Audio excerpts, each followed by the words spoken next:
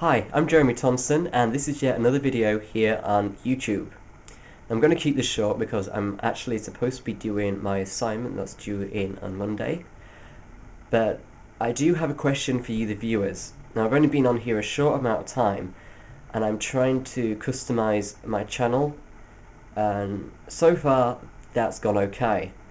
Now by watching other people's videos I have noticed that above the information bar on the right hand side people's actually got their own banners so sometimes it's just a logo, it's their name, it's an arrow pointing down subscribe button or even just a random picture and I would like to be able to add a banner um, like everyone else does and I was just wondering if somebody can post a video response or just message me and tell me how you actually do this. Now normally I'm quite good with websites and finding myself around and working out how to do things like that myself but for some reason I just can't figure out how to actually add the banner.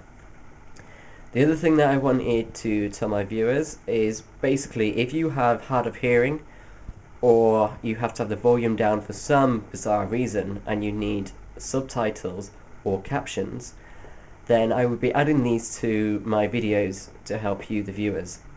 The way to access this is I believe it's in the bottom right hand corner you can click on a pop-up menu, click on the CC button, and this will bring up the English text that will appear on all my videos.